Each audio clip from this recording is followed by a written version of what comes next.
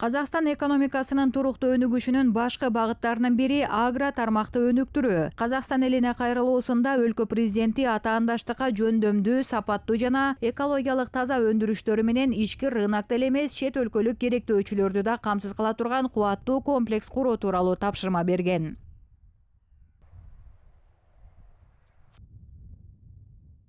Инновациялык деген жалпы жаңалыктарды бар инновация дегенибиз бар жаңылыктарды өндүрүшкө киргизүү дегенди билдирет. Жалпы казакстанда бүгүнкү күндө инновацияларды киргизүүнүн өзү тармактарга бөлүнөт. Мисалы эгин чарбачылыгы мал чарбачылык тармактары бар. Же болбосо ошол өндүрүштөрдү иштетүү тармагы бар. Ар бир тармактын инновациялык жаңылыктардын киргизилүүсү ар түрдүү әрине мына биздин мамлекетте бүгүнкү таңда эгин чарбачылыгы кичине алда келатыр.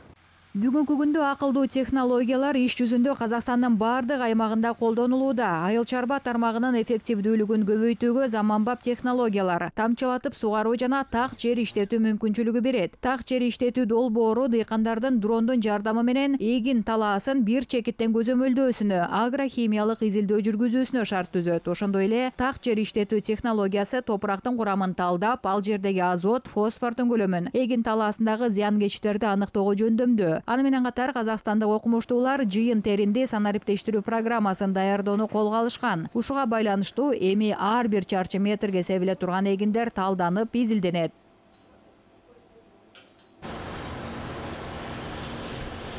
трансферттүү технологиялардын дагы бири казакстан үчүн экзотикалык өсүмдүк ак жүгөрү өстүрүү. Быйылкы жылы ал алтымыш гектар жерде өстүрүлгөн. Ак жүгөрү түштүк чыгыш азия африка америка жана австралия өлкөлөрүндө өсөт. Сабактарынын бийиктиги алты жети метрге чейин жетет. Бул өсүмдүктүн башкы баалуулугу анын курамында. Жүз грамм өсүмдүккө алтымыш сегиз пайыз көмүрсуутек тиешелүү калганы клетчатка белок протеин витаминдер жана минералдык элементтер. Ошондой эле ак жүгөрүдөн чөп жана салынат.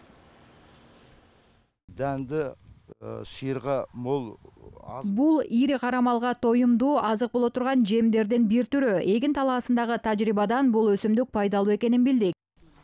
Убакыт тармакка заманбап технологияларды киргизүүнү гана эмес ошондой эле дасыккан адистерди тартуу аркылуу алдыңкы катардагы эл аралык тажрыйбаны колдонууну тездетүүнү талап кылат. Мындай ийгиликтүү тажрыйбаны ата мекендик фермерлердин бири колдонуп жүрөт Мы сегодня работаем генетикой и эмбрионами. Я привлек бүгүнкү күндө биз генетика жана уруктар менен иштейбиз ушул максатта мен американын генетика менен алектенген эң алдыңкы фермалары менен иштеше баштадым. Биз эң жогорку өндүрүштүү уйлардын эмбриондорун өзүбүздүн ак баш тукумдуу уйларга ангустарга аргындаштырдык ушул жылы биринчи жолу жетимиш эки музоо алдык биз суррогат энелерди ал эми эки миң жыйырма экинчи жылы казакстан эмгек өндүрүшүнүн жана иштетилген айыл чарба өндүрүштөрүн экспорттоону эки жарым эсеге көбөйтүүгө милдеттүү. Республика ушул максатка жетүүгө системалык план коюуда. Мисалы инновацияларды киргизүү агрардык чарбачылыктарга так дивидендтерди алып келет. Башкача айтканда ресурстарды эффективдүү пайдаланууга ошондой эле дан көлөмүн жана атаандаштыктын артыкчылыктарын божомолдоого мүмкүнчүлүк берет